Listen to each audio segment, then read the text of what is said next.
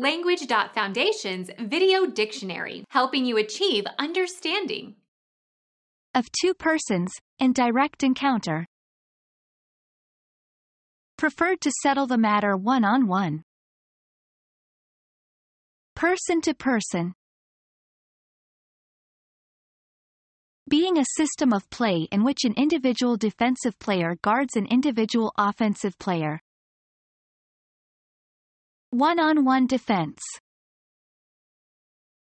Man-to-man. Directly between two individuals. One-on-one instruction.